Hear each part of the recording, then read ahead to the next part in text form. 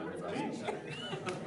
I'm really excited to see so many faces and people excited to, to hear John Hamer speak. And just from welcoming people into the room, I, I heard people have a whole wide variety of reasons that they, they know who John Hamer is.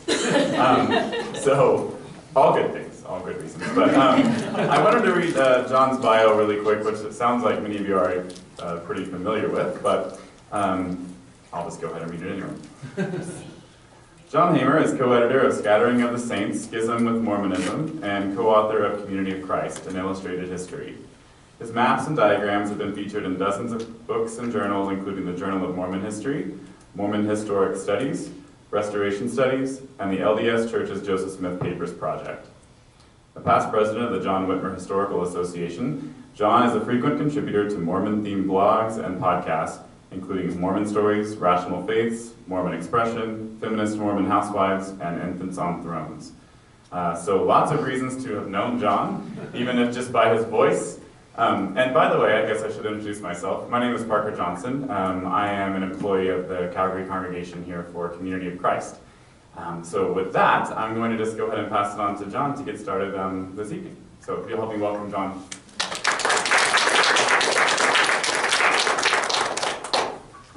Thank you so much. Thank you so much for coming out. Um, I want to say in, uh, in making this presentation, I am not going to, I don't have in front of me um, uh, formal prepared remarks that I'm going to read from in a, in a nice and exciting and boring way. Uh, and instead, what I have is a whole bunch of different uh, charts and maps and things like that. And so those, um, uh, these original charts and maps and things like that may um, stimulate uh, discussion and ideas and um, interest. And because this topic is so kind of broad, um, there may be different things that you find interesting or more interesting or not. And so you can feel free to um, you know, raise your hand and, and, and chime in. And, and if it's not clear or if you have an, uh, an additional question, you know, because this, can be, this presentation can go a bunch of different ways depending on oh my goodness, I'm so interested in finding out about Cutlerites or whichever one of the other groups, and, and otherwise you may not be. So um, I'm entitling this uh, an overview of the Latter-day Saint movement, our uh, shared restoration heritage here. And this image actually that I have, um, I'm taking from the cover that I made for a book called uh, Scattering of the Saints, Schism Within Mormonism. And the idea of it is um, from kind of a common beginning uh, in the in, in upstate New York. Uh, one movement uh, has gone in a, in a bunch of different directions and to, through different uh, different geographical locations and, and, into different denominations. And now today there are uh, maybe 80 different uh, Latter-day Saint tradition denominations that are not in communion with one another. And I'm trying to draw it this way in, in all of these um, for a couple reasons. One is that not to say that um, every single one of these churches has heritage that goes all the way back to the beginning, even if maybe institutionally we sometimes think of one as being an offshoot or some people have like uh, specifically walked out of one particular institution and into another. Uh, but rather than, uh, than picking one way or the other or prejudicing one as or some as offshoots or not, um, I'm going to try to treat everybody uh, respectfully uh, in all the different groups uh, because in some ways I think uh, schism happens when people who are uh, faithful people, believing people who decide that they can't be in communion with each other anymore for whatever reason. And that doesn't necessarily um, mean, even though we maybe think if we're in one of the groups or the other, that all those other people are apostates, or we may, in the heat of the moment, even say that, or we also don't agree with them. Uh, nevertheless, uh, from the individual's perspective, that was the way that made sense, or was the way that God was calling them to go. So, um, in the first place, one of my uh, things that I do, I'm a professional uh, map maker, illustrator. I do maps for uh, different university presses, academic presses, museums, and things like that. And one of the things that I have noted in the whole, uh, my whole career of making maps is that people tend to really, really believe maps. um, if, you, if people get up and maybe because they have a podium, they maybe have some kind of credibility because they're talking into a microphone and there's a podium, you might believe them people a little bit more than somebody who you're just hearing on the street. Uh, You maybe give more credibility if it's actually printed in a book, maybe if especially the book has a hardcover and is nicely typeset. Uh, But it's amazing how much people just immediately believe maps, even though I'm going to tell you as a map maker, maps are notorious for lying, and they all actually really lie. Um, And so you should not trust them. But anyway, so maps tell a story. So this is, this map here is what I call the traditional Mormon history map. And if there was in, like, say, a standard history book that you'd have in the United States or in a religious history, this is pretty well the story. And it's essentially would say, um, the Mormon experience starts in upstate New York, goes to Kirtland, for, uh, somewhere in Missouri anyway, um, Nauvoo, winter quarters, and ends up in Salt Lake. And it's often drawn like this against contemporary uh, map, political current borders of the, of North America. Um, Sometimes you want to put that into context. And when you actually, and it's not entirely easy because in fact, uh, the political boundaries in, the- even in the time period uh, from 1830 to 1844 till 1850s, um, that in fact, these political boundaries were shifting rapidly. And so I've just chosen rather arbitrarily here maybe to pick 1844. But um, one thing that people maybe, you know, just even to understand, you know, why is Zion going to be here? Why is the New Jerusalem going to be in this place? You might look at it on the other map and say, well, it's a, it makes sense as actually at the absolute center of North America or something like that. But at the time period, for people who were living, for European Americans, this is a, a place that is on the very edge of the uh, European colonized zone. And so actually the church's newspaper in Independence, Missouri was the uh, farthest west uh, publication at the time period uh, being printed. And the idea of building a New Jerusalem there, uh, as they called it, on the border with the Lamanites, um, was because there had been Andrew Jackson, who was this new populist president, uh, uh, had gotten elected, had decided that all of the eastern uh, Indians, all of the First Nations people of the United States who lived east of the Mississippi River had to be forcibly relocated uh, beyond the permanent Indian frontier, which the United States guaranteed for all times would be Indian land sacredly. You know, so that would be, and as we know, that's been the case, right? and so essentially, um, the idea was, and the early restoration uh, people felt, therefore, that, uh, that this was a fulfillment of prophecy, that since uh, Native Americans uh, were among the lost tribes of Israel, the fact that the government was forcibly gathering them to a particular place, uh, and that uh, in as much as they also considered themselves to be of the tribes of Israel, uh, so the, the Lamanites would be, the, I'm sorry to say, the, the First Nations people, as they under, were understood in this restoration context, uh, from the Book of Mormon, that the First Nations people, that American Indians would be uh, of the tribe of Manasseh, and that all of the uh, early members of the uh, church were of the tribe of Ephraim, or Ephraim, and that they were being going to gather together and build the city of New Jerusalem at the border with the Lamanites. Anyway, so that, that's, that context is relevant to why they went there.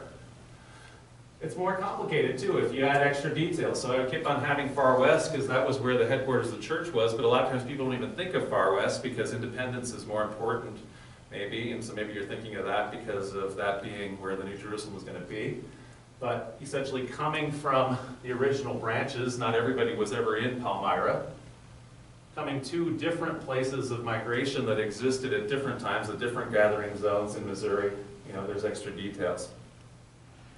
And of course, details will get left out. So people didn't only go uh, from Nauvoo to Salt Lake. Uh, there were many other different uh, leaders that emerged after 1844, and people went various different directions. And so we're going to talk about some of these different groups.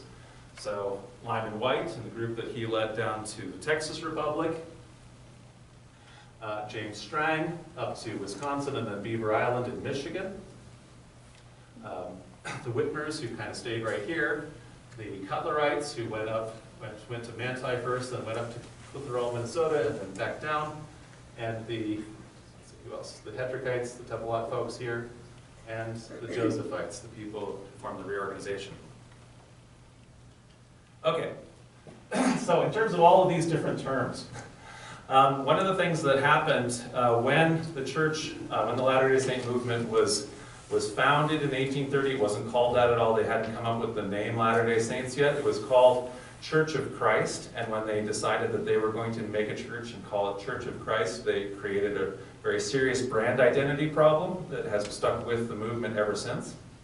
And so um, I'm using, going to use the terms throughout here uh, that were present in the 19th century when uh, the different groups called each other by ite names, even though the names maybe are, um, a lot of people don't want to be called by their names, but we'll just do it totally. So I will call myself from my tradition in, in the Community of Christ a Josephite, which is for Joseph III, uh, one who was the leader of that uh, tradition, that branch. And then we'll say Brighamites for the people who follow Brigham Young, and that way we're not just prejudicing against the littler churches who tend to get called ites and don't always like it, especially Bickertonites. If there are any Bickertonites here tonight, I will apologize about that. They tend to not like it especially, whereas Strangites embrace it.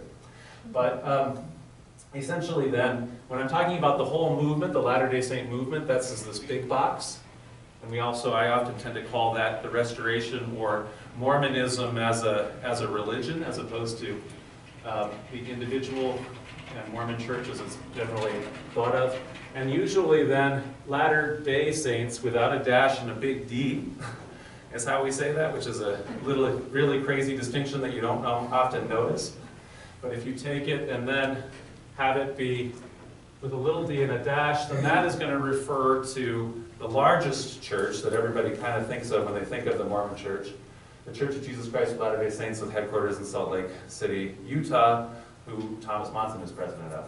And so I'll usually call that the LDS Church and sometimes the Mormon Church. That's the biggest church within the Brighamite branch. The other churches within that branch are the Fundamentalist Mormons. A lot of times people call them polygamous Mormons. Um, the reason we don't want to say that is because not everybody who's a fundamentalist Mormon is a polygamist. Some of them are kids. They're not all, you know, you may be a widow who had been uh, married and now you're not married to anybody anymore or something like that. So in other words, you're not actually a polygamist in that way. You believe in celestial marriage, or, uh, but you don't necessarily practice it. And those include things like the FLDS Church, the UAB, the Kingston Group, and others. The Strangites, whose name again is Church of Jesus Christ of Latter-day Saints, but we tend to put Strangite after it so that it differentiates.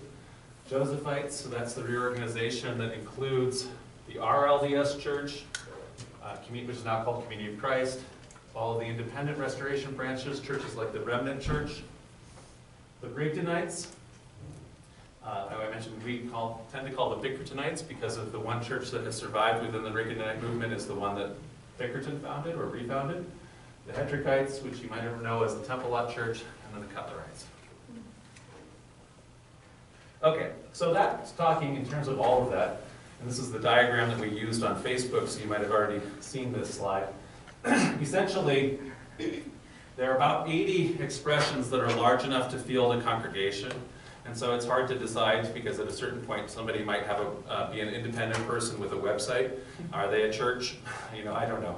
So that's more for Steve Shields to figure out. So he's the person who has uh, the book uh, Divergent Paths of the Restoration, and he is busily tracking down every single person with a website. But I, I, don't, I tend to be more interested in, let's say, if you're big enough to have a congregation, then I'm going to be paying more attention.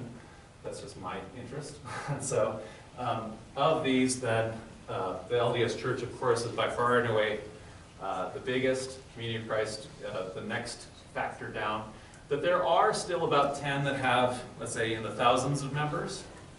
Um, and then, and then some of the littler groups include um, whole branches that don't have very many people in them anymore, the Strangites and the Cutlerites. All of these go back to Joseph Smith and the Book of Mormon.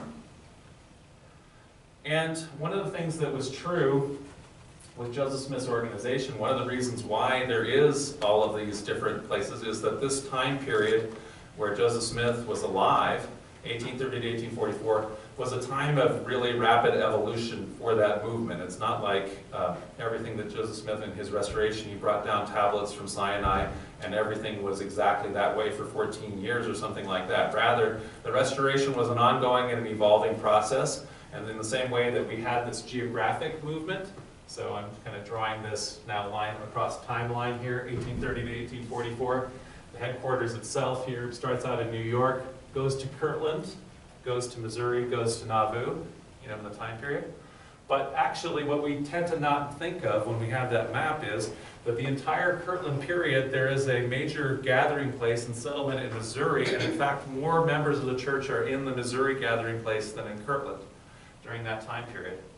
And then finally, what almost never gets mentioned in the history and is always left out is that the bulk of the members at any given time are actually in the branches.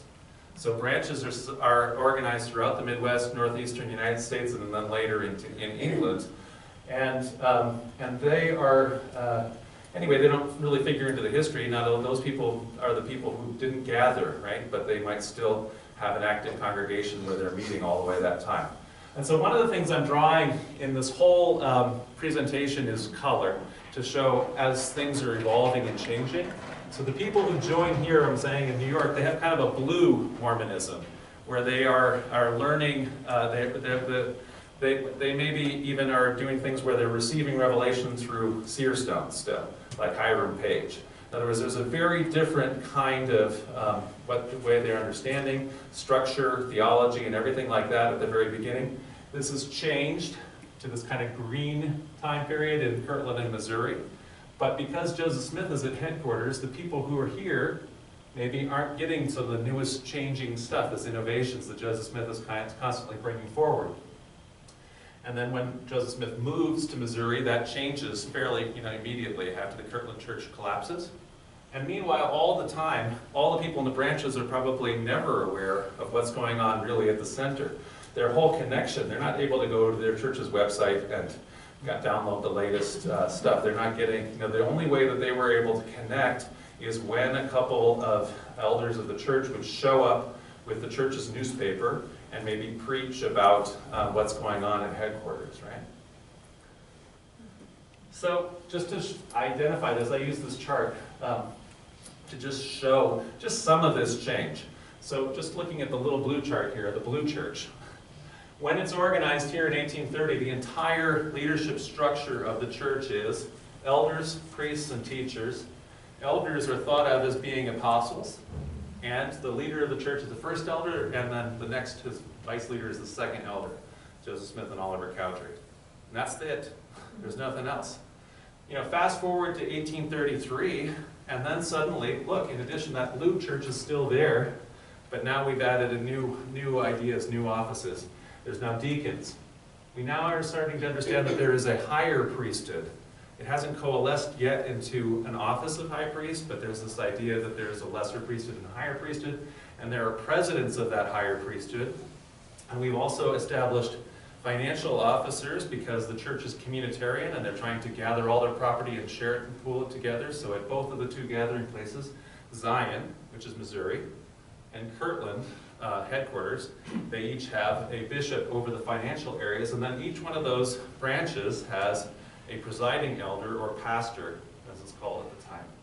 So that's even if you have read in the Articles of Faith. We believe in the same organization that existed in the primitive church, these apostles, prophets, pastors, teachers, evangelists. Some of these um, don't exist in all the expressions, right? So some of the churches don't have pastors and evangelists, but anyway. Okay, fast forward now two more years. so, you know, from this green zone to now this olive zone, and uh, you can see that there's an explosion of different ideas and restored offices and, and things.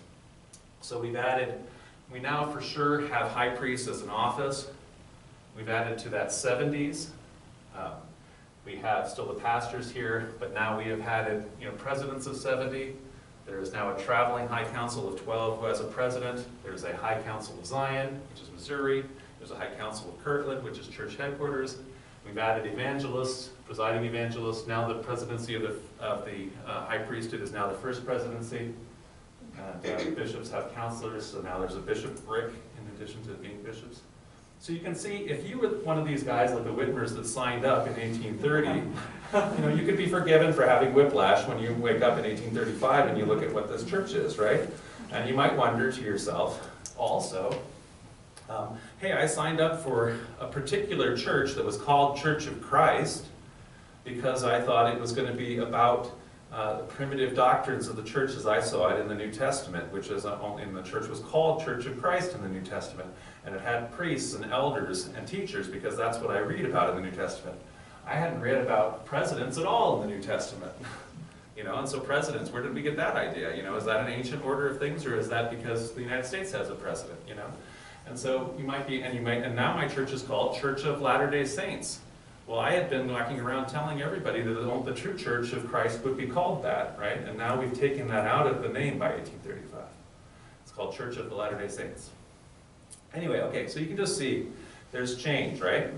And people are signing up for very different um, kinds of churches if they are joining at different times. So my um, ancestors, my first ancestors joined, joined here at this time period. okay, also, if we take that hierarchy, those are actual people at the time, right? So each one of those people. So here we have one of these counselors, David W. Patten, one of the people in the presidency of the Church of Missouri, John Whitmer, you know, John Johnson's one of the counselors of the High Council. So if we take all of those people as they existed in 1835, and then, I'm sorry, and then we fast forward to 1847, and we look at when Brigham Young reorganized his first presidency of his faction of the church in Council Bluffs, Iowa. Um, the people that are with Brigham Young out of those real, uh, real members from 1835 are these orange ones. So that's the percentage of the leaders from 1835 that are on board with the main line, let's say, of the movement. The people who are blue here are still involved in one of the other groups, you know, not in, not with Brigham Young. The people who are in gray have left the movement altogether, are not interested, and then the darkened ones have died or been killed. So you can see that even among the leadership, uh, it's not like it all went one way or, or the other. So I explain this a little bit by saying that there are tensions that are involved in the early movement. And so um, we have this idea, on the one hand, that there's continuing revelation. We have a prophet, and the prophet keeps restoring stuff, as we saw even with the hierarchy, but in all kinds of other ways. But the idea also was that it's a restoration of an ancient order of things. This is how it was supposed to be in the early primitive church of Christ and the apostles, and or maybe among Adam and Eve, or however we're deciding it means. But if we restore it one way, and then five years later we've restored it a different way, you know, which one of those is the ancient order of things? And so that would jostle in people's minds, right? But sometimes people are more interested and worried about this side, but sometimes they're more excited about this. New things are really exciting, you know? And the other problem is, then another tension, not necessarily a problem, is that everybody is in this movement is having able to access personal revelation. And yet we have this one prophet guy too, you know? And so is the church going to be governed by common consent of all of the members? Or is it really the prophet who's going to dictate what should be done, right? Yes? I've always kind of struggled with this idea of rest, restoration of the ancient order, because I don't know what they really mean by that. Because, you know, we know when Christ was on the earth that he didn't have you know, the organized church the way we, You know that, but you don't have to. Well, didn't. yeah, okay. But I'm just wondering, okay, when they talk about that we are going to restore it to this ancient order, is it like Paul, you know, Paul was, Right. I mean, so who's, what is the ancient order and how do we know what that is? I Right. guess is my question. But I would say that your question is actually informed by more recent academic history, which is telling us a little bit about, let's say, the historical Jesus, where we are have the, where, where historians now in the in the quest for understanding the historical Jesus will argue, and I think uh, compellingly, I certainly agree, that Jesus did not uh, start a church at all, right? In other words, that prior to that Jesus had a movement, and then after Jesus' execution, and then after members who had been, not, not members, after people who had been his disciples, people who had been in his movement, began to have visions of a risen Christ, that that's the nucleus of, of a church being formed, in other words, and that's when the church would be formed. But they didn't have that, and, and so we have that impression through two more centuries of doing academic research and teasing out the sources and understanding the origins of Christianity.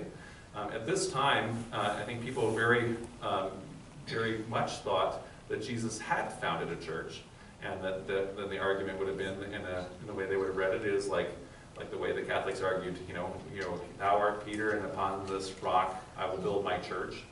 Um, we would argue, as an academic historian about the, um, historical Jesus would say that, that, that text probably doesn't go back to the historical Jesus. In other words, since that's written, uh, written down a couple, a generation after Jesus' death by an evangelist, evangelist and author who never known Jesus, that that actually describes the understanding of Jesus in the early church, but not at Jesus' time. So anyway, that's what I would say.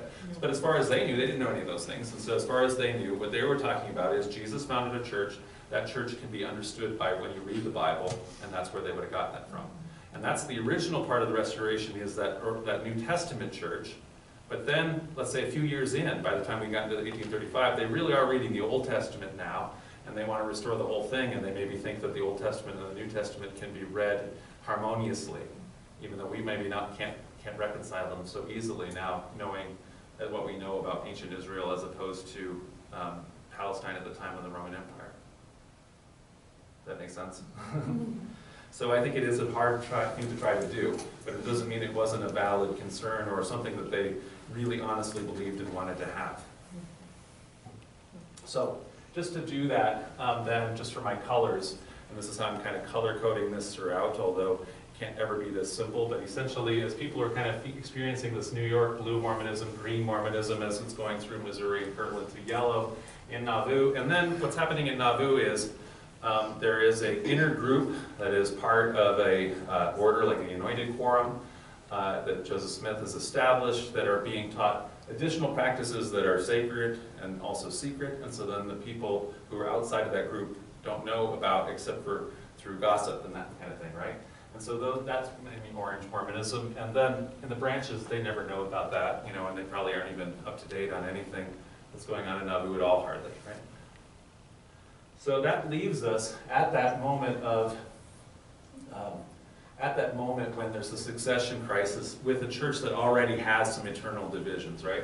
So the people in the branches are in this kind of green zone, there's people at the center that are in this kind of orange in the know. There are people that have joined at different times but have been exposed to the kind of general public yellow, and then the people from Britain who maybe didn't know about what the early stuff was like, who have all kind of come to Nauvoo and, and or the surrounding branches. And so then, of course, when Joseph and Hyrum are killed, there is not any one particular succession alternative, but there's multiple different ones. Everyone from Sidney Rigdon, who was uh, the last surviving member of the first presidency, William Marks, who's president of the presiding high council, Brigham Young, who's president of the traveling high council, William Smith, the adult, um, last adult brother of the Smith family, kind of representing the Smith family and the if they're if a royal lineage that's described in the Book of Mormon. Lyman Wight, who is a member, uh, the, the most senior of, of these guys anyway, member of the Council of 50, which is one of these secret councils that had been very important in the last uh, year of Joseph Smith's life. Uh, Joseph III, who was a kid at the time, but had had a couple blessings that uh, indicated that he would one day be a prophet. Uh, David Whitmer, who had also been um, president of the church in Missouri, he'd been designated early on as being, if Joseph will fall, then David Whitmer would be his successor, although he's been excommunicated, since, or he's actually left the church. He wasn't actually excommunicated, he's not in Nauvoo anyway, he's still in Missouri. Um, and James Strang, out of nowhere, kind of out of left field, where he is like saying, well, uh, he comes forward and says, um, hey guys, if you were to be in your, in your church right now, if, if everybody uh, who is an elder were to die and all you have, you know, are priests and teachers and deacons, would it be possible for a priest to ordain somebody to be a new elder, so you'd have a new elders president? If you only had elders, could you make a high priest? Well, you guys only have apostles and high priests. You can't make a prophet. Nobody can do that. In other words, and so how did Joseph Smith get to be prophet? Angels ordained him. And an angel came to me and ordained me, and now I'm the prophet. And so that's was his kind of argument, and that made a lot of sense to a lot of people. So, uh, as famously this comes down at Nauvoo, anyway, the church headquarters to a showdown, um, essentially, uh, Emma um, feels that William Marks, as the uh, president of the presiding high council the church's headquarters, should be president of the church, but William Marks thinks no. Sidney Rigdon, as the sole surviving member of the first presidency, has the best claim. Brigham Young doesn't agree. He thinks that the, as the president of the 12, that he has the keys to be the successor. And he actually has a couple groups that are very much in support of him. In part, the people who have been practicing plural marriage, because if anybody over here who is against plural marriage were to become in charge, then all of these family arrangements even that people have had are called into very serious question. And so this is actually affecting just about everything in your own life and at this point. And then, of course, he's also the 12, their whole job up until this point in the church had been as the missionaries. And so all the people who have come from Britain are, uh, know the 12 very well, you know. And so then, um, anybody else, though, who might have been a reformer, people who were anti-polygamous, they actually are out of the church and in disarray right now because um, one of their leaders, William Law, had been uh, kind of kicked out of the church and created his own Reformed Mormon church, and his newspaper is kind of the thing that precipitated the whole, um, the whole succession in the first place through Joseph Smith getting killed, right? And so then, of course, nobody consults the people of the branches, because what do they matter, right? So anyway, so between all of that, it comes to that showdown, right? And so, um, turns out that Sidney Rigdon, uh, uh, so Sidney Rigdon proposed that he should be made guardian over the church, uh, and he had a big uh, speech to say so. Brigham Young gets up and says, you know, this is crazy talk. You know, here we have the blood of the martyrs in front of us, and now you're going to make Sidney Rigdon be take. He's going to be able to take Joseph Smith's place. We can't have it. You know, we can't have a successor. You no longer have a prophet in the flesh, but you have apostles, and we can make the apostles be the first act as the first presidency of the church going forward, and that'll be, you know, in other words, we can't replace Joseph Smith. And so in that, in doing that, um, there's a rebuttal time period. Uh, Sidney Rigdon uh, gets, a, gets to have a rebuttal speech. He picks somebody to uh, offer that on his behalf, and that person um, has, speaks for Brigham Young. So in other words, that person is convinced by Brigham Young. So Sidney Rigdon uh, is bad politician and, and gets kicked out. So, so from that moment then, um, uh, that's not that everybody followed. Most everybody at Nauvoo then um, Brigham Young is able to secure control over church headquarters, and most everybody at Nauvoo goes with him west. But there's still all the branches, and Sidney Rigdon is still active. He tries to reorganize the church. Um, whenever anybody is busily creating their own um, uh, understanding of a church, and as they're trying to organize and they're trying to get back at, at, at to where this period was now, and we're deciding to have a path forward, they have three basic ways I'm, I, I would suggest that they uh, they, it's, never, it's never as simple as they only do the one. I mean, it's a mixture. But that may well be that the thing that is their biggest priority. So one of their ideas is we need to get back, we need to purify, that we've somewhere along this lines, one of the reasons why we got to this place is because we've gone off the rails. So if we can only purify it, then we would be able to, uh, we would be able to get back at that true restoration that we started with.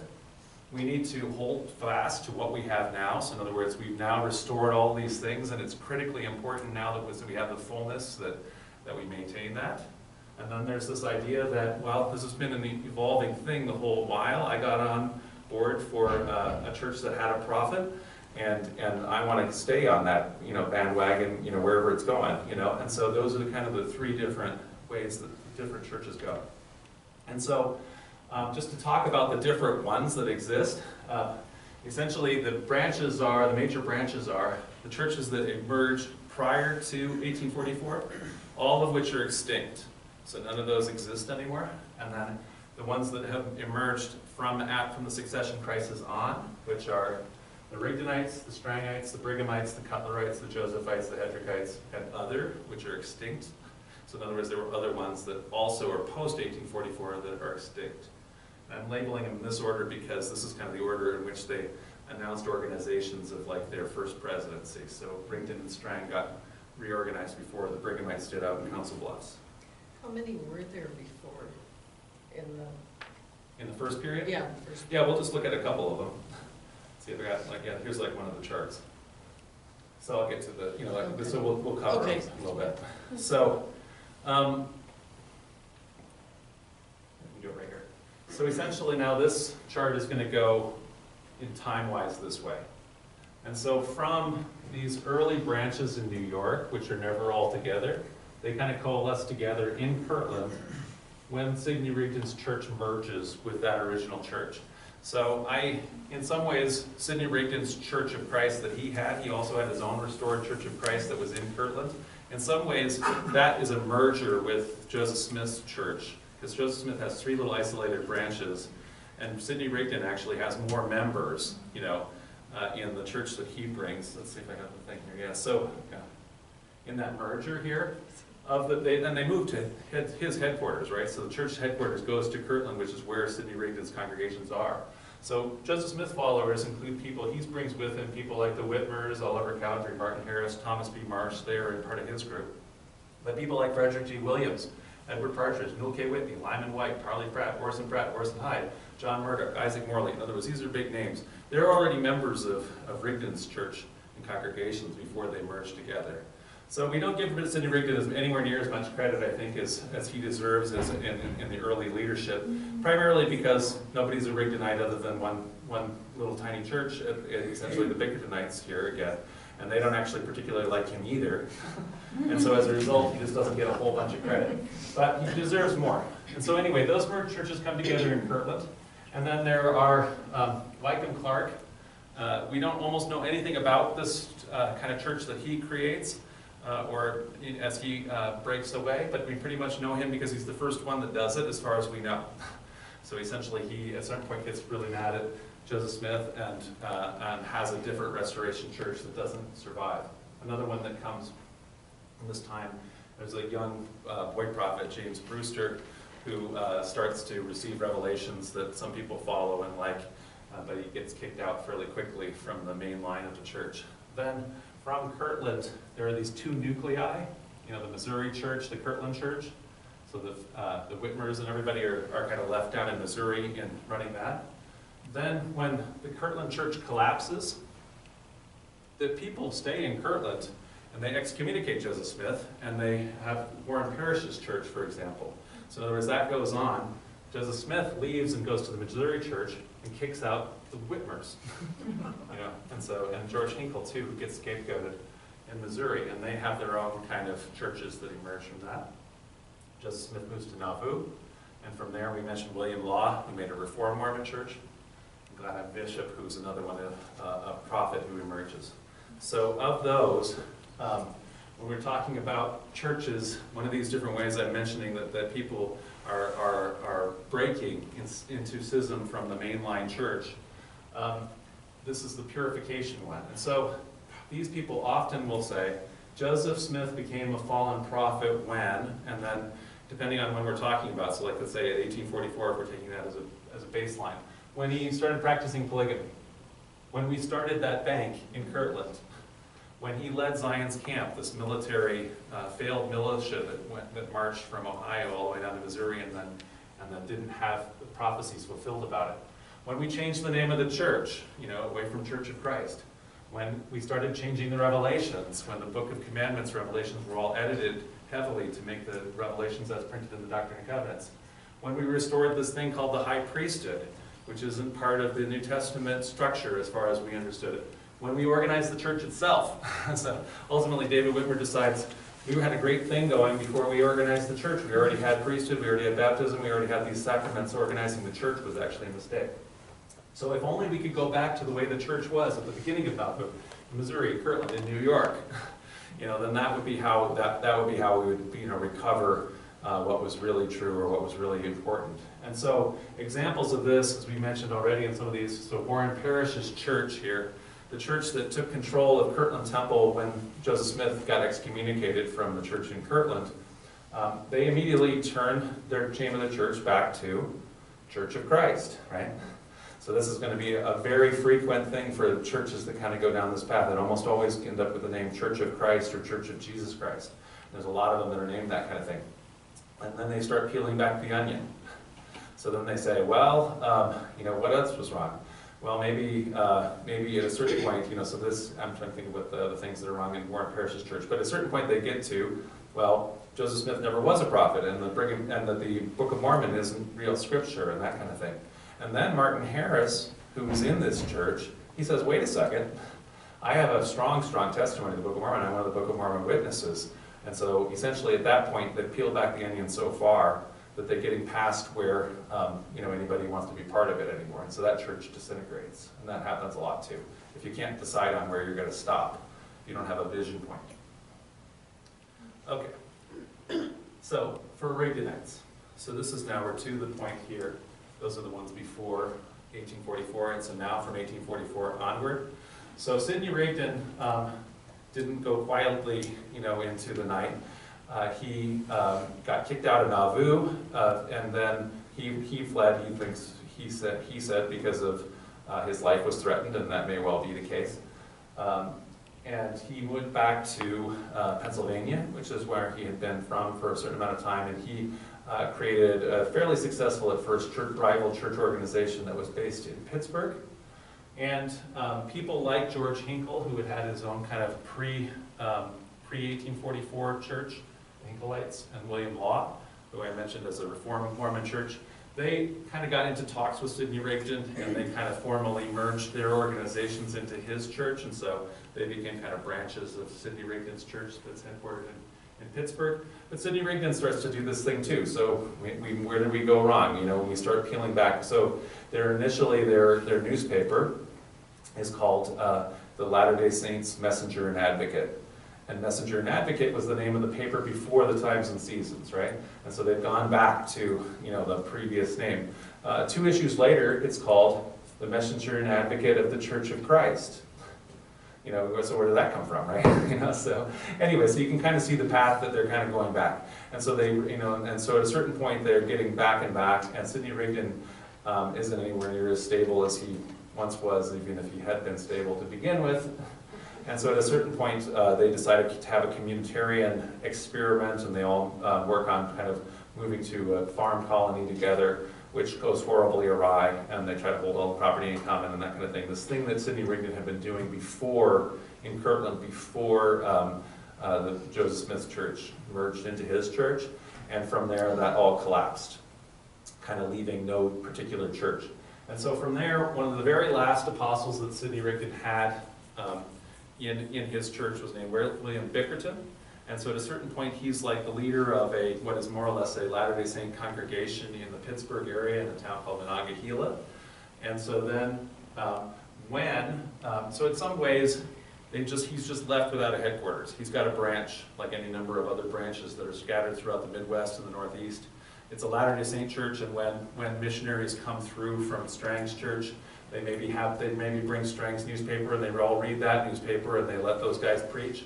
When somebody comes from Utah, they, they, uh, they read that newspaper, and they let those guys preach. But then, but then one of the tripping points for a lot of these branches is then the newspaper comes from Utah uh, in 1853, and Utah, and they announce in Utah that actually no, even though we've been denying it for the past um, uh, nine years, this open secret, we actually are poly practicing polygamy, and that you can't get us anymore, and so now we're, you know, we're openly polygamous now.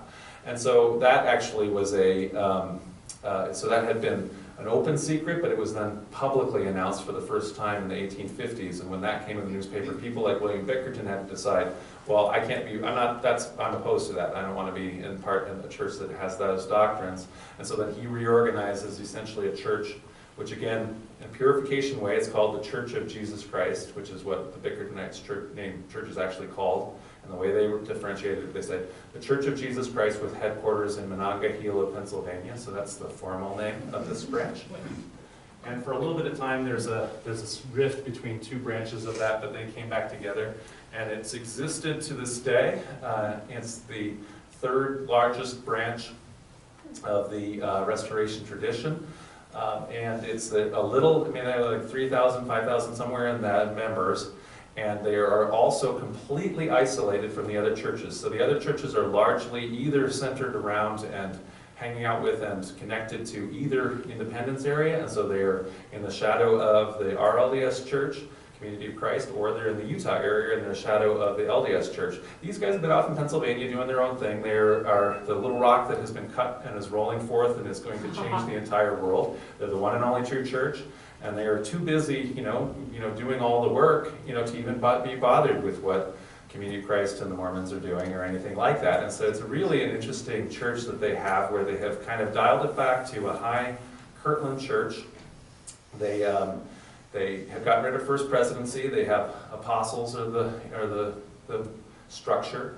Um, they, they don't believe in, um, in the same way that some of the churches don't believe in, let's say, a read prayer. In other words, you may have to compose your prayer orally for it to be being speaking of the Spirit.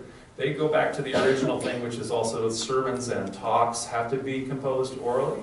So in other words, you are speaking your sermon always from the Spirit, no prepared remarks and in the thing. The bulletin is done by the Spirit, and so which is amazing to me. And so and so essentially now, when you are the um, the presiding official, or you're the pastor or the congregation, you know really. It's like Brother Parker, do you feel? Uh, uh, that you could come up and do you feel inspired to come up and to uh, uh, give a talk on tithing? Totally. Good, you should get. And then, you know, and it would be really, you know, Brother, uh, Brother Stephen, do you feel maybe to come up and uh, give a musical number? And I'll tell you, I mean, I have never been to, um, uh, you know, like a more um, active and, you know, it's just very dynamic uh, uh, service of a Restoration Tradition church is when I went to the Bickertonite Conference. And to the point where I was actually on my hands and wondering, okay, what am I gonna say if they call on me to go up and and give a talk, what am I, you know, so I was, you know, I was quite, quite nervous. Anyway, it was very interesting, and, and they have other interesting things too, going back to Kirtland, they do feet washing, uh, which is one of the few that do that, and, um, anyway, so some of these other early kind of traditions, yes? Scriptures? So in terms of scriptures, they, um, so they, uh, they have the Book of Mormon, and they have the, um, the Bible, uh, but not the, uh, not the inspired version, not the Joseph Smith translation, which were not available in the early church. And in terms of the Doctrine and Covenants, they are one of the churches that uh, believes that the apostasy happened when they edited the, um, the doc, the original revelations from the Book of Commandments, and so they don't use them as scriptures, but they use the Book of Commandments scriptures polemically to show that the other churches have followed the, the uh, errors of man, right? And so, uh, so I, so I think that they might think of the Book of Commandments scriptures as being inspired, but they don't use it as a book of scripture. They were the first church in the Restoration to translate. Um, they have a huge Italian, Italian-American population, so it was growing up in, in Pittsburgh, which is a working class um, uh, steel mills and things like that. They were the first church in the 1920s to have a black apostle. And they, um, and they were very proud that they translated the Book of Mormon into Italian before any other church. And so up to the 1960s, the LDS Church and Community of Christ, if they were using them, they would use the, the, the uh, Monongahela uh, translation until people came up with their own translations of it. So it's a very, very interesting group, yeah. It has been suggested that we take a quick break. Okay, for yes, let's take a just in case, Um, they wanna grab something Yeah. or maybe ask you a question personally or something. So we'll just take a few minutes and then we'll, we'll come back. I back. would like to get water. So That would be great. Okay, so we talked about a little bit, and you can keep stuff while I'm talking. We talked about one of the different strategies that people have as they are, I don't know whether it's a strategy or not, something that's happening in their hearts as they're trying to think of how to come to um, understand the direction that their church is being called to be. And one of them we said was purification, and it's that peeling back the onion, deciding to get to the pure, whatever is the core that they remember. And sometimes they can achieve, find a place like the, like the Bickertonites have found, where they have come up with this very, um, really interesting Kirtland era style church. Sometimes you peel it back so much and you don't have anything left, and that happens too. Another way is innovation. So one of the, um, one of the hymns in the, in the hymnal in Nauvoo is, "The church without a prophet is not a church for me." And you still sing that in the LDS church, right? No, no, because, because, because there was this whole long time period when, when the twelve were in charge and the church was without a prophet, right? And so, and so in that time period, that was taken out of the hymnal, you know, and were, and specifically, Strangite missionaries were following people on the trail west, and they were singing that, that hymn as a taunt, you know, you know, to, to say, hey, we have a prophet and you don't have a prophet. And so, for example, now, certain churches um, that are coming out of this time period, Charles Thompson's church, Joseph Morrison's church, James Strang's church. These are examples of churches that have prophets. And um, one of the things that happens is then you have new revelations, new scripture, new doctrines. And in fact, this goes into a new directions often that are um, that are sometimes just very inherently based on that same original DNA mix that you have with Mormonism, but it's amazing what can kind of grow out of it. And so, one of these interesting ones is James Strang's church. And uh, there's a couple um, different iterations of this. Um, essentially, um, William Smith, uh, at, at a certain point, he, uh, he is trying to have his own church. And uh, he because he's kicked out of Nauvoo. He was one of the 12. He's a presiding patriarch of the church for a little while, but he and Brigham Young and the other 12 don't get along. He gets kicked out. And when he gets kicked out, um, he uh, writes to James Strang and says, well, I kind of think that it sounds like you're the prophet. You know, don't you think if you uh, recognize me as presiding evangelist over the church, presiding patriarch over the church? And Strang says, well, you are presiding patriarch over the church. And so that was a wonderful um, meeting of the minds as far as they were both concerned, and they became part of the church together. Um, James Strang initially, um, uh, then though, William Smith is secretly practicing polygamy on, the, on that model. James Strang is not in the know about polygamy. He's, he is actually in aware, uh, as far as he's aware of, is these public denunciations of the practice that have been coming out in Nauvoo. And so when he find, discovers that William Smith is secretly practicing it, he kicks him out. And William Smith goes off this way and has his own church that we'll talk about kind of what happens to them later in a different branch. Meanwhile, from, uh, for, uh, from here, James Strang moves from Voree, Wisconsin to Beaver Island, where he establishes a kingdom, uh, which is uh, not that different from what Joseph Smith had been doing. So we mentioned that Council of the 50. In the last year of Joseph Smith's life, he had established a third restoration. There had been the restored priesthood in 1829, a restored church in 1830, and now in 1844, a restored kingdom. And so there's a, a secret council of 50 people, 50 men, who are set apart as princes and kings over the kingdom of God on earth, of which Joseph Smith is the king of the kingdom of God on earth, a secret ceremony. Um, and uh, James Strang uh, followed up on that and also was king, although he was way more open about it. So he was openly king of Beaver Island, and everybody in the, all the other islands in Lake Michigan knew that.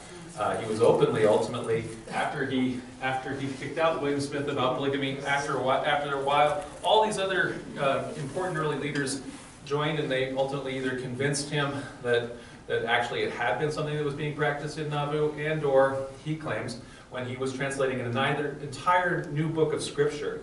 So the Strangites have another whole book of scripture the length of the Book of Mormon, called the Book of the Law of the Lord, which is an amazing. Um, uh, addition to Mormon theology, which I think is it's like so amazingly Mormon and yet it's its own thing.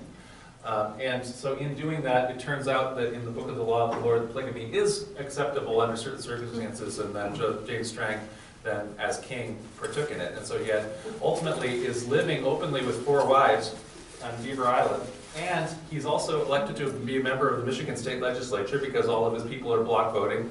Anyway, he's a very interesting character. And so he's king, he's a, um, a polygamist, he's a legislator. and, uh, he's a very interesting guy, very, he's probably among the smartest, and he's a genius and, and is, and is a very interesting theologian. Um, he gets killed uh, and um, uh, the same kind of way as Joseph Smith, so all the anti-Mormons on the other island come over and they assassinate him. Uh, and when that happens, um, um, the thing that happens to the Strangites is much more severe than would ever happen to anybody in Missouri and getting kicked out of Missouri or any, anything like that. So essentially all the Strangites on, on Beaver Island, they're all collected up, they're told to, they have to, they have two, a day, you know, they have to leave and get on, the, on these uh, steamboats to be depopulated from the island, bring all your property, bring all, everybody come to the shore. They're divided from their property, so they're not allowed to have any of their property. They're, uh, they're uh, by, at gunpoint. And then in, in groups, they're actually dropped off all around the, the ring of Lake Michigan in tiny groups, penniless, so they can't even gather back together. So, uh, uh, and so anyway, they really, their, their, they, their prophet is killed, they have nothing, they're totally dispossessed as refugees in small groups, and so it was very hard for them to recover from that. But there are a bunch of different interesting, All initiated by the state? it's, um, It's primarily a mob of, um, it's a mob of people from the other island, so Mackinac Island. So, uh, uh, anyway, so they don't like the Mormons for a bunch of different reasons. A lot of cases, the Mormons aren't getting along with their, and Strangites call themselves Mormons. So if you go to the Strangite church, they just refer to themselves as the Mormons.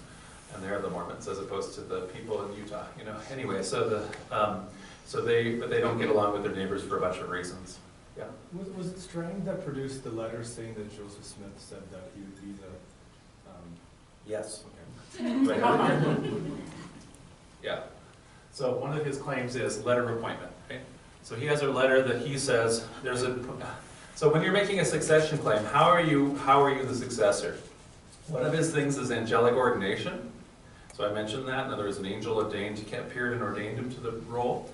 But another one is, um, it doesn't say anywhere, for example, in the book of the Doctrine and Covenants, that when the prophet dies, the first presidency is dissolved and the, and the senior most member of the Council of Twelve becomes prophet. That doesn't exist in the Doctrine and Covenants, it doesn't exist in terms of precedent anywhere in the, in the New Testament.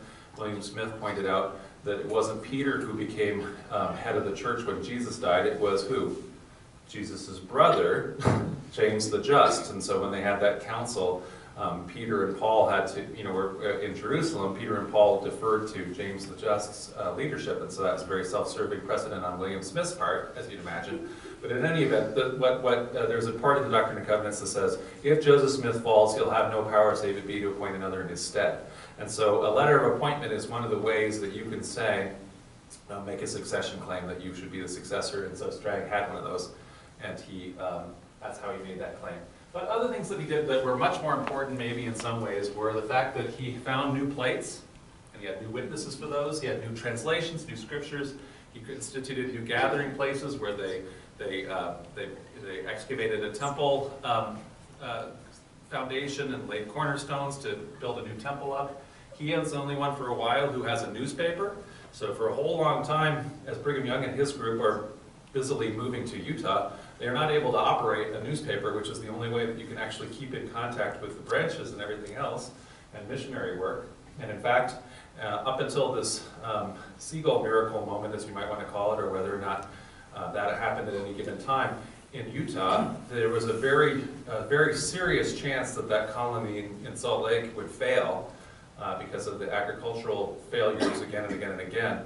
And so at a certain moment, there's this moment which Steve Shields, who's a um, very, uh, who's the- probably the core historian of the different movements here in the succession, he thinks that there's a particular moment when Strang's colony is doing so well on Beaver Island, and it looked like it was possible that Brigham Young was gonna have to pull up stakes and move on to California or- or Vancouver or something like that, because you- they could only survive one or so more um, failed harvests, right? And so they didn't have a newspaper, et cetera, et cetera. So at that moment, for example, all of the branches in the east that are still existing, all the Midwestern branches, um, are actually looking to Strang um, headquarters as probably the headquarters of the church. That doesn't mean that they're all Strangites necessarily, because they haven't like moved to Voree or anything like that, you know, and it's just when Strangite missionaries come through, or Strang comes through himself on a missionary tour, they're all like, they're Strangites now. But then if another missionary comes through, they may, they may believe whoever is coming through, right? Can you tell us about those plates, the Voree plates? Yeah, the Voree plates. Yeah, like. So this is a facsimile of the Voree plates. The Voree plates are um, an amazingly interesting artifact. So uh, uh, they are, they were physical plates, so there are thousands of witnesses actually, including the person who invented the, uh, the QWERTY typewriter. So he was a journalist in the local town there, and he saw it, and he has a big, long description of them. So we're talking about actual physical plates. Uh, They were really little, and they are, you can see kind of what the writing system looks like. Um, The writing system, although it wasn't known at the time, uh, uh, I've done a lot of work on the decipherment actually of these. This is an actual writing system as opposed to what we can actually tell from the, um, the Anthon transcript, which is the facsimile of Book of Mormon script, which is all we can say. The nicest thing we could say on that would be that it's too small an amount that we could be able to determine whether it would be um, an actual um, script or not, so it can't be deciphered.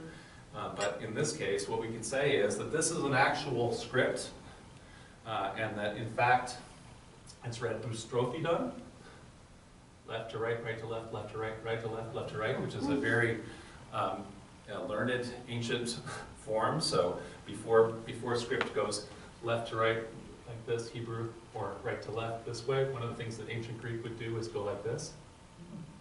And that's what it does.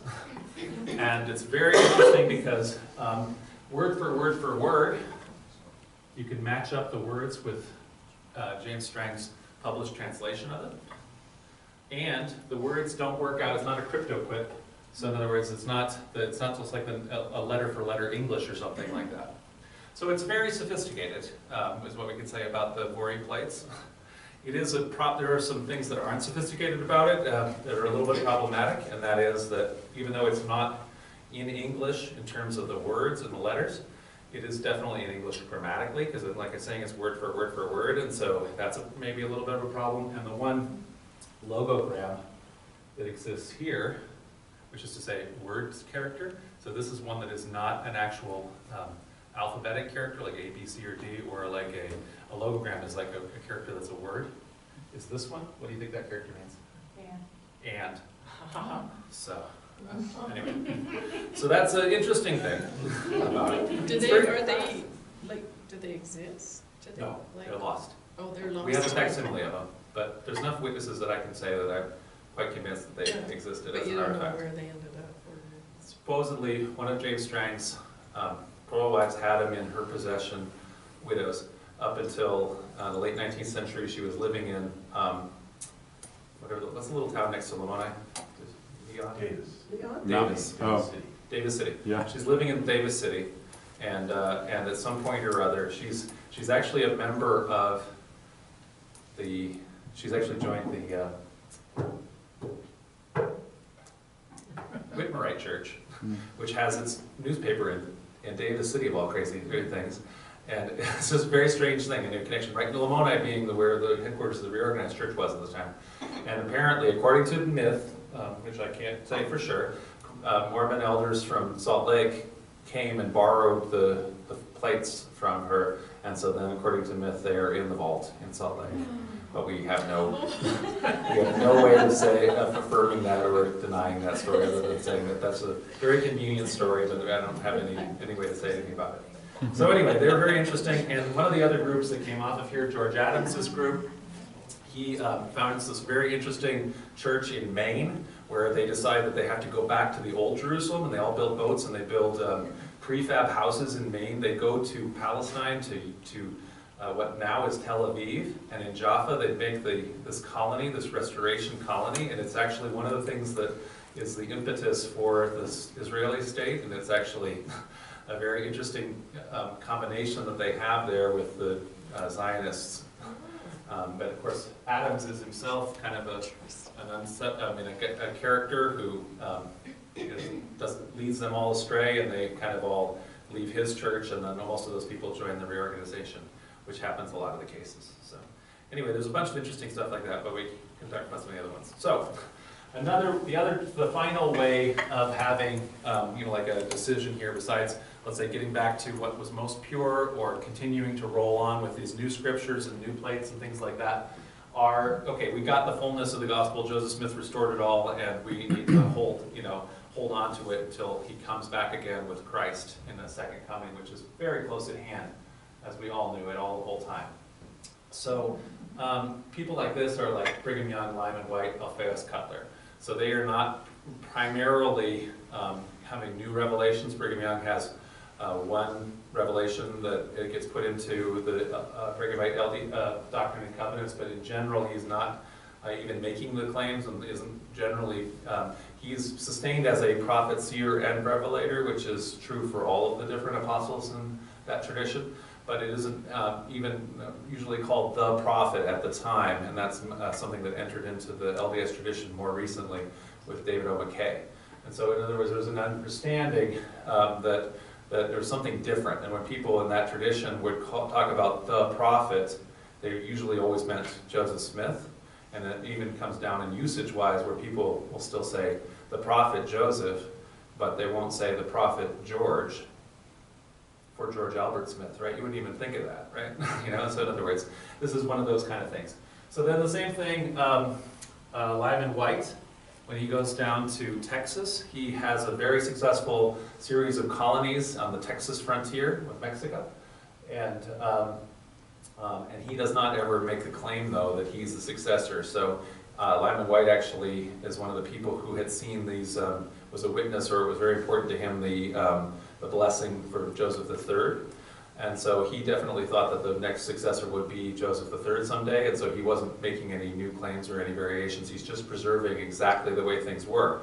And so ultimately, what ends up happening is almost all of the Wightites end up joining the reorganization, even though, just ironically, they have been living a very high Nauvoo, theology style um, Mormonism. So they have plural marriage down there, they have a temple with, um, with the Nauvoo endowment and everything like that, they're doing baptisms for the dead. And so that group, though, merges back into, or merges into Joseph III's reorganization, the people that stay in the movement. And so they have to go through kind of how do you deal with that, right? As Joseph III isn't doing that. So same thing, Cutler. So Cutler um, is on the frontier, again, the Indian frontier in Iowa. He gets to the edge of where Council Bluffs is, and he says, boy, I'm not gonna, I'm an old guy, and there's no particular reason for me to go across these mountains and plains and, and then have to just come back, because the second coming's almost at hand. Here I am on the Missouri River, all I gotta do is get in the boat and I'll go down river and I'll be in Independence. And so he stayed, and he made a colony called Manti, Iowa, and that's where the Cutlerite headquarters was. And so they also, he also was sitting around there with the Cutlerites waiting for the end times. What what was Cutler's status, uh, pre-Joseph's death? So Cutler had been um, in the, uh, he had been on the Council of 50. So the Council of 50 was organized, like I said, the, uh, the Constitution, of the secret of the Kingdom of God on earth. And so it was organized by seniority, based on how old the person is, and Alphaeus Cutler was one of the older people. And so um, he considered himself to be um, the senior most member of the 50 that was still active at the time that he decided to organize his church, which was right around the same time um, of when Brigham Young is openly proclaiming polygamy. Cutler ironically had been a polygamist, but then they decided that they were against it and they, they undid it and they actually um, purged it all from the records. And if there was a Cutlerite here, I would have to be very circumspect. Are there any? I'm sorry, there are only six in the world, so you're probably not. But anyway, anyway, I had to be quite circumspect because if they don't, they don't. It's a matter of faith claim that they never were polygamists. But the records are fairly clear. If we you go back to it, that they had been, and then they thought better of it, and they purged that. And so the other thing that he had been is that he had been the uh, the chief mason for the Nauvoo temple, and uh, and so he was a respected um, elder leader, and so uh, he had been also uh, one of the two um, two chief leaders of the pioneer expedition. So he was part of the, the leader of the scouting expedition, and so the uh, Council Bluffs in, in, in the when the twelve were moving across uh, the Iowa. And so uh, he broke with Brigham Young primarily over the reorganization of the first presidency. So he had believed, like uh, Wight, that Joseph III would be the successor. And so when Brigham Young then organized the first presidency, uh, he didn't partake, partake, partake, uh, he broke with the church at that point. That's, So Wight and Young were quorum of the twelve apostles or traveling twelve, is that correct? Like, Wight was an apostle or? what? no, he was not an apostle. So he was with them. So he was, a, you know, but- but- but the records at the time, they called that group Twelveites, because the Twelveites were all the leaders together. And then after Brigham Young reorganizes a first presidency in 1847, then they become known as Brighamites to the, the people who were against them. Would these folks have considered themselves, like, do they, do they frame this as starting different churches? Or are they essentially No. leaders of branches?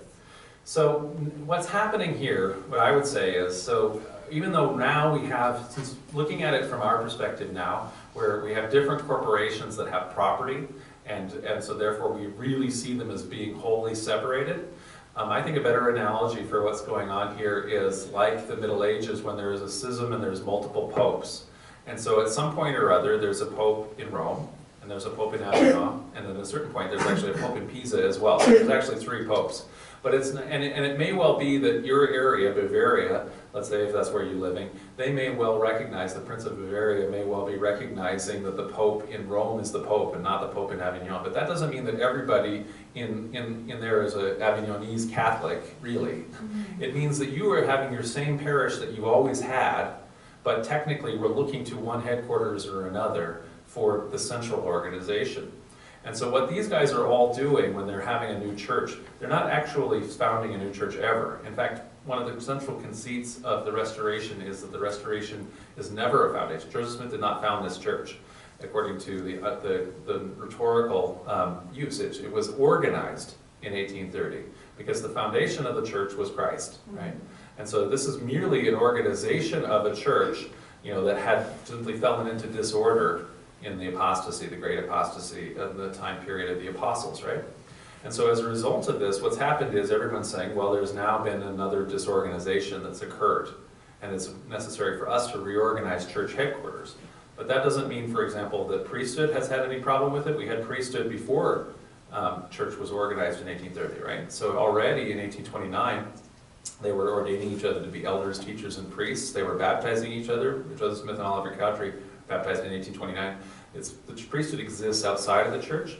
And so the church is there, you might have a branch, you have priesthood, but what's happened is that the, um, the center, the headquarters has fallen into disorder, and so now we need to reorganize a new, a new headquarters, and that's what happens. And so Alphaeus Cutlery essentially is doing that. Okay, yes, okay, so we're getting there. Yeah, just letting you know. Essentially, in Brighamites, the Brighamite main path of it, there's a bunch of different interesting stuff that happens in the 19th century, but the more um, relevant stuff in terms of what's con- that's still existing is in the 20th century, um, in the slow process that uh, the LDS Church had in actually repudiating polygamy. Uh, it was not a fast thing, and it didn't happen all at 1890 or anything like that. There was a whole long procedure when polygamy was still being practiced again in secret, and then was finally really repudiated in, in real times.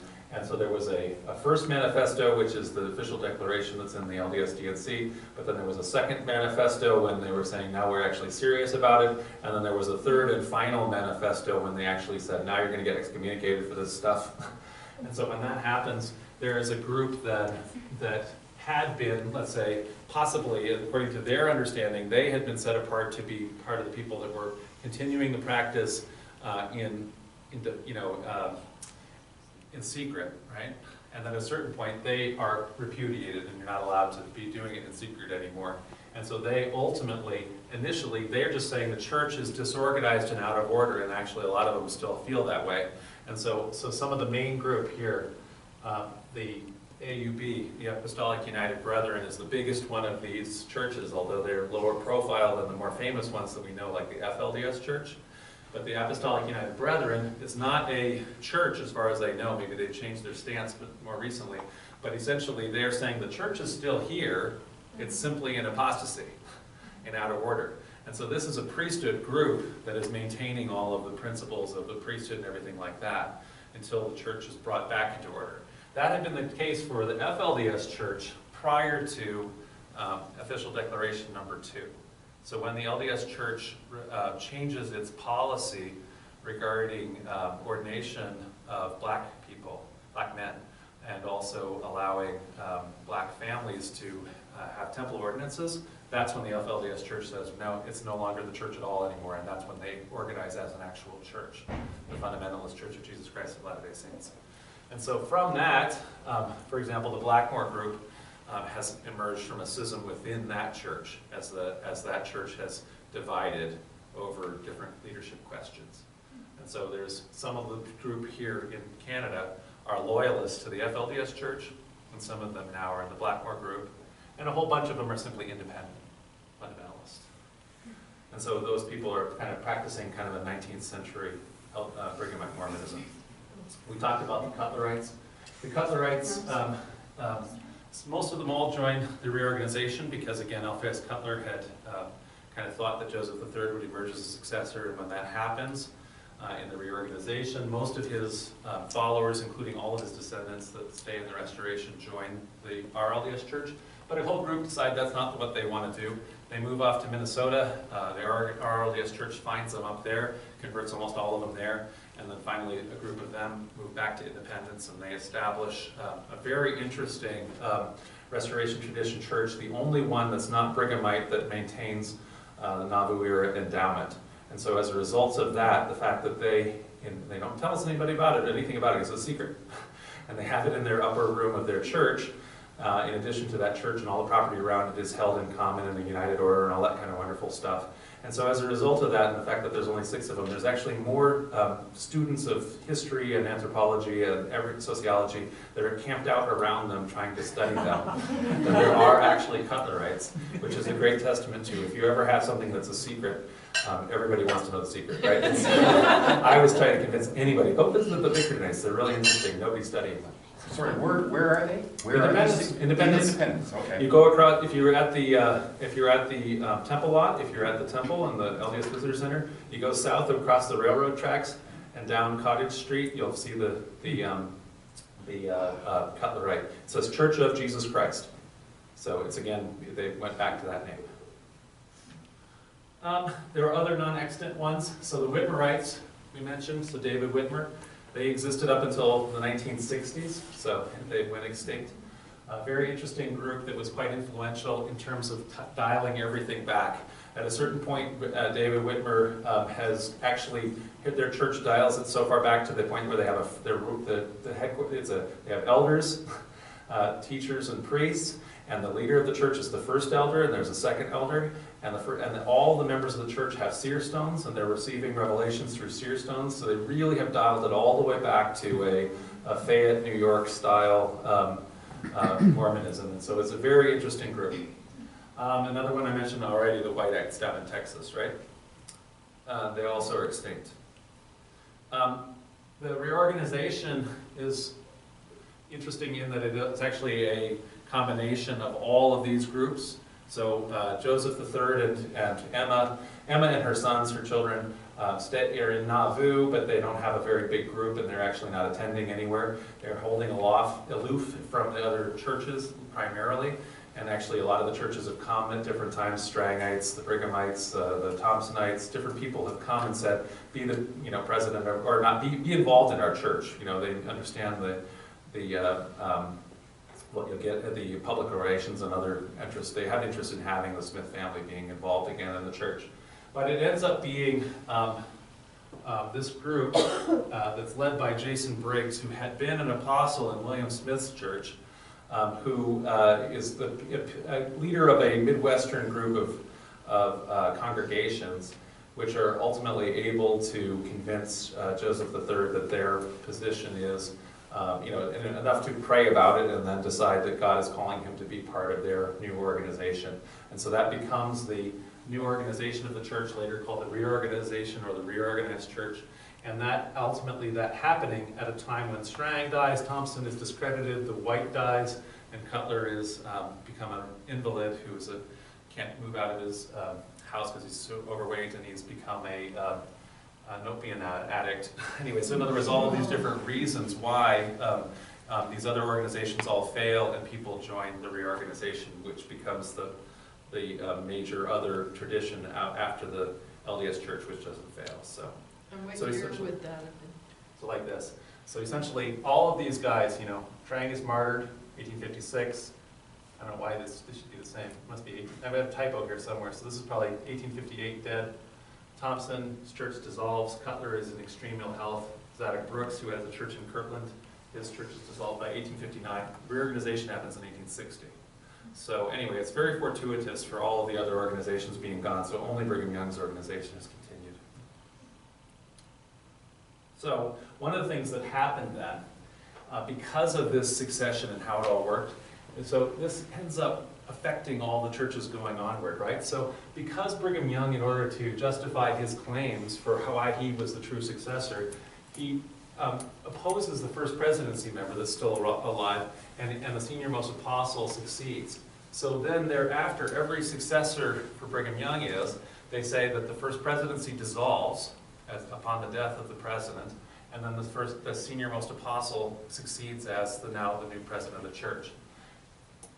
Strang by the way, he wrote in the book of the law of the Lord, he didn't write, I'm sorry, he translated from the plates in the book of the law of the Lord, that apostles have no authority to lead the church if the death of the prophet. In fact, if they do it, it's a horrible sin and apostasy and everything like that.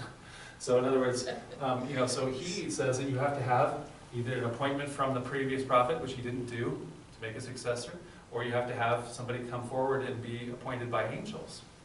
And the apostles specifically can't do it. So essentially, after, after they regroup, after his martyrdom, and the apostles are kind of sitting around, they're reading the book of the law, and they're like, well, we can't do anything. And then we have the notes from their conference where they don't know what to do. And so ultimately, there is no successor, and there is still a group of uh, Strangites that are quite active. They have a great, healthy congregation in Wisconsin, but they haven't ever had a successor, right? So the president, they mostly, uh, the church is, is uh, uh, organized by having a conference, and there's a president of the- of the high priest council that's the acting kind of head, but the conference is in charge. And then we have this thing here with Joseph III, who, um, you know, had been appointed a successor in these various blessings, and he's also in the family. And the apostles here are also kind of not, uh, are kind of downgraded officially in the, in the understanding of it then. And then this ends up being a practice, long practice then in the RLDS church where each one of the Smith family people are appointing other members of the Smith family in order to be uh, the succession. And so you kind of get stuck in these things once you kind of go that path. So, Now, so, in that, in the um, community of Christ, women are able to hold yes. positions. So if, So right would a successor be a B. Smith. female? Yeah, of Like course, can be. So under Wallace B. Smith, who was the last Smith prophet in this tradition, Joseph III all the way to him, uh, Wallace B. Smith, who's alive today, the emeritus prophet of Community of Christ, he, um, he appointed somebody else who's not a Smith to be his successor. Because he said God no longer is calling, used to call, there's actually other people who are being called to be prophets. It doesn't have to be a Smith family thing. He had daughters, he could have appointed one of his daughters, like you say, he also was the prophet who had the revelation, who, um, but it doesn't have to be that, because there's actually all these other Smiths who are male, like, you know, there's actually hundreds of Smiths, and there's a lot of them who are quite um, um, active in community of grace and, and leaders. In other words, it could have been one of them, but essentially, he, what he's saying is that that may well be. We have an apostle who's a, a descendant of Joseph and Emma right now, but um, but rather, that's not. It doesn't make any sense in the church now as we're moving towards the 21st century to be led that way. Is his thinking. so, um, And so, but, and, but in so doing and making that change and having women in the priesthood and things like that, then there were lots of other uh, people in the organized tradition who didn't think that way, right? And so there's the remnant church of Jesus Christ, there's Restoration Church, the independent restoration branches, a conference of restoration elders. So in other words, there's all kinds of people who've kind of tried to dial that back to, let's say, a 1950s RLDS church. Does that make, answer the question? and um, does he, is his successor, like, did he die before? Like, he appointed him, and is it, No, there, That so there was already, you don't have to do die in they office, get- you don't have to die in okay. office. So he- they have a His emeritus dad, his status. dad was, um, appointed him and, and retired. Okay. He became emeritus right, prophet. yeah, And so his dad was, was W. Wallace Smith, right. and then he retired, he's still alive. And then his successor has actually uh, resigned and is also still alive. And so now this is one more, so Steve Veazey is the prophet. Excuse me, do the uh, restorationists, uh, do they have prophets? So the only one that's come up with a prophet who, uh, of all these different churches, as far as I know, um, is Fred Larson, who is one, who was a Smith descendant. And so Fred Larson is cousin to um, Lach Mackay, who's a, a Smith apostle in our church. Uh, it's, a, it's his uncle, actually. Um, and so Fred Larson is uh, Frederick Madison Smith's younger daughter's son. And so Lach is Frederick Madison Smith's older no, no, younger daughter, anyway, younger daughter's daughter's son.